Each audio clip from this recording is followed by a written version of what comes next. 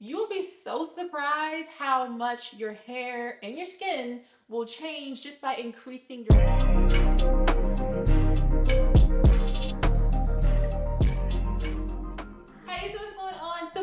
for this video. If you are new to my channel, welcome to my channel. I'm so glad you are here. I am a cosmetic chemist specializing in natural hair care and the creator of this amazing channel called Curly Chemistry. Will help you guys understand your hair and ingredients from a cosmetic chemist perspective. And I also help you guys start hair care lines as well. And today I am sharing the science behind gray hair and also sharing some practical solutions to treat the dryness, the frizziness, the lack of manageability that is associated with gray hair. Now, this is a highly requested video and I'm so excited to share this information with you. You guys know I don't waste any time. Let's get started. Okay, number one, so when it comes to the science of gray hair, we first have to look at hair just as a general, just as a whole. Now, in a perfect world, our cuticles, our clothes, the moisture is inside. We have a beautiful oil layer around the cuticle called 18-methyl eicosanoic acid, which is a lipid layer that helps to protect the hair. That's all in a perfect world. If we go a little bit deeper, our hair has amino acids within it, keratin, it has oil, it has lipid, it has silica, it has cholesterol, and there's also melanin. And melanin makes up the color of our hair, whether it's black, or brown or red or blonde. However, as we age, as we get older, we lose melanin within our hair.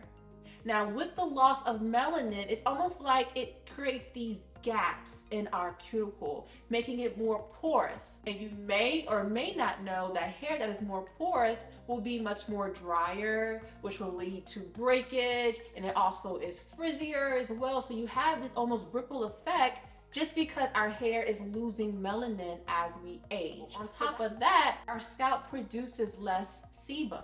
And sebum is important for that moisturization, that moisture retention, I should say. And when you have a lack of sebum production, as we age, you get drier hair, you get a drier scalp. So all of these things play a role. However, this is not the end of the world. Let's talk about some practical solutions to help restore that moisture, to get rid of that dryness, that frizziness, and that breakage. Okay, so first up, you definitely want to tackle this internally and externally. So if we focus on internally first, you'll be so surprised how much your hair and your skin will change just by increasing your water intake. Anyone who has like excessively dry hair, brittle hair, drink more water. I love Essentia. That is like bomb.com water in my opinion. So any type of alkaline water will be very hydrating for your system, especially for your hair. Secondly, you guys have been hearing me talk about this very often lately.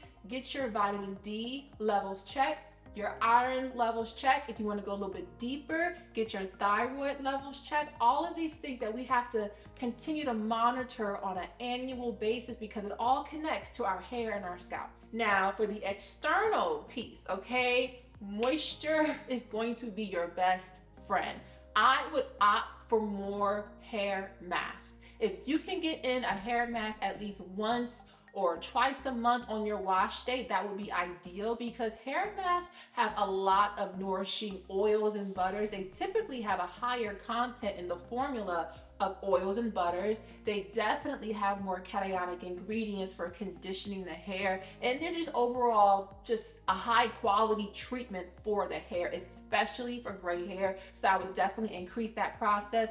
The second thing I would do is look into some DIY hair masks. If you like to mix things, you like to cook at home, um, I have a great recipe in the Practical Solutions for Natural Hair Care, my newest ebook. I have a great DIY hair mask, super easy, very easy, very effective. Definitely check it out if you haven't done so already. But hair mask in this season of your life is going to be a game changer and a hair saver as well. The next thing is your moisture cycle. Now you may need to increase how often you moisturize your hair or opt for a different moisturizer. So if you're currently using something and it's not doing it for you, you may have to look at other moisturizers. A few good ones um, are the Lush Revive moisturizing cream. I just talked about this in the previous video. Um, there's also the, the Kuza Black Castor Oil Moisturizing Cream that's really good. Aussie Moist Leave-In Conditioner, the, the curls, I'll put it up here. That one, and also the ApHogee Pro Vitamin Leave-In Conditioner, just to name a few. You know, those are some great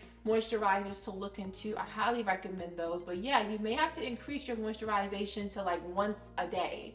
You know, instead of going once every three days, it may need to be once a day. So play around with it and see how your hair responds. Remember, always seal that moisturizer and moisturizing our hair is a two-step process. And also with moisturization being the goal, opt for a good moisturizing shampoo, a moisturizing conditioner. I have a few in the Practical Solutions for Natural Hair Care that I recommend for your hair type. Definitely check that out, guys, if you haven't done so, because a lot of challenges that we experience on a daily basis for our hair, our hair is going to be in that ebook. So definitely check it out. I'll post the link below. And last but not least, I would say try to avoid excessive amount of heat in your hair care regimen. It's okay to use heat from time to time, but just don't go overboard. Don't, don't, don't go crazy with it. Always have a heat protectant. And then of course, avoid, you know, being harsh with your hair when it comes to styling it, brushing and combing and all the things. You really want a TLC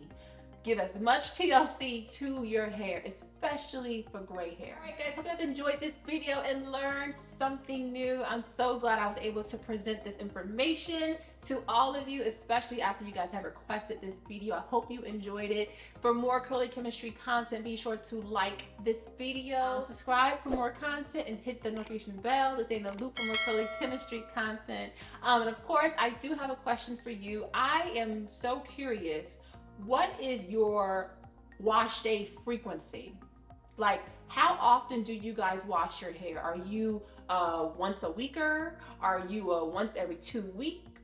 Or, you know, like, like how often do you wash your hair? And the second part of the question is, what is usually your attitude towards your wash day? Are you like excited? Are you like dreading it? Like, oh, here we go again. Or are you just like, yeah, it is what it is. Blah. You know, like comment below how often do you wash your hair? What's your attitude towards your wash day? Let us all know, and I cannot wait for the conversation with you. And if you have not heard, I have a new ebook titled The Practical Solutions for Natural Hair Care. I have literally taken the top challenges that we experience for our hair type, whether that's dry scalp, dry hair, oily scalp, hair loss, hair growth, all the things, shedding, breakage into this book. And I provided practical solutions for each of these challenges. And so many women and men are seeing some great results with these solutions, myself included. Okay, so definitely check it out if you've not done so already. I'll put the link below for you with more information. And then also, if you have not heard, I am now offering one-on-one hair care advice consultations.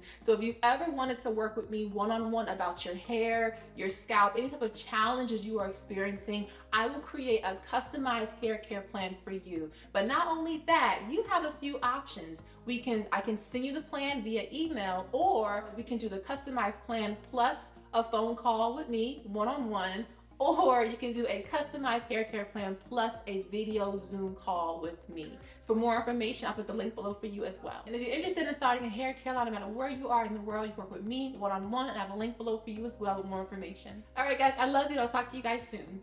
Bye.